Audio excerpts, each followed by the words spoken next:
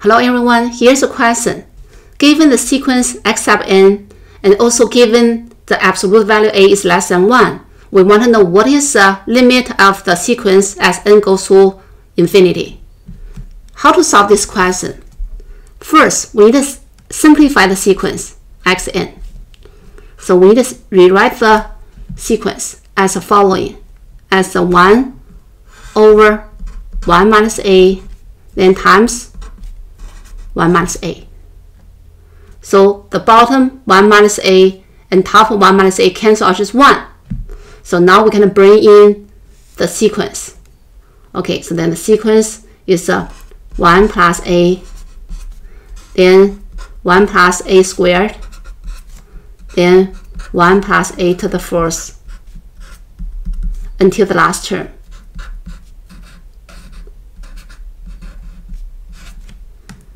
Okay, so then we're going to simplify xn.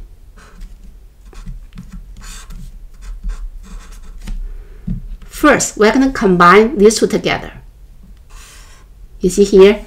So 1 minus a times 1 plus a just equals 1 minus a squared. So then we copy the rest of the sequence. So then from here, so that's 1 plus a squared until the last term.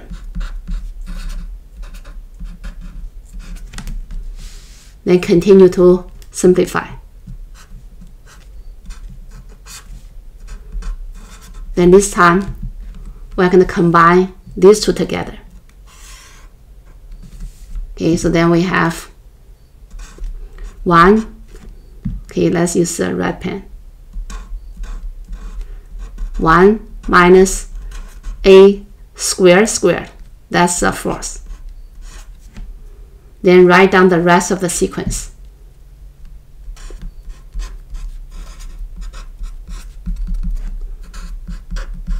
Then we just keep going like this.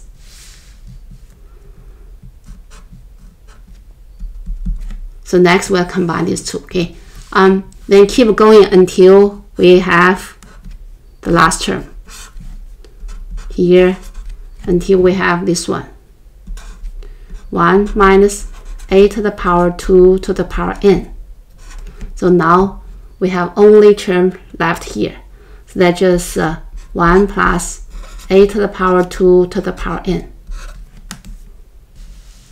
So now we just uh, combine these two terms together. So then we have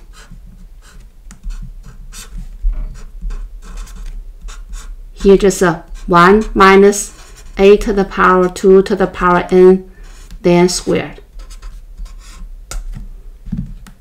Then what is the power? Power to 2 to the power n times 2, that's 2 to the power n plus 1. Then we have here. Then here just 1 over then this one is uh, 1 minus a to the power 2 to the power n plus 1. So then this is a um, simplified expression for xn. Because we want to figure out what is the limit of xn. So first, we want to figure out what is the limit of this term. Okay, so let's see. Because given absolute value a less than 1, so then what is the limit as n goes to infinity of this term? To the power 2 to the power n plus 1 just equals 0. Okay, so now we are ready to figure out what is the limit of xn as n goes to infinity. Let's just bring in the simplified form for xn. So this is a simplified expression for xn. So just bring this part in. So then here we have 1 minus a to the power 2 to the power n plus 1. And here just uh, 1 minus a.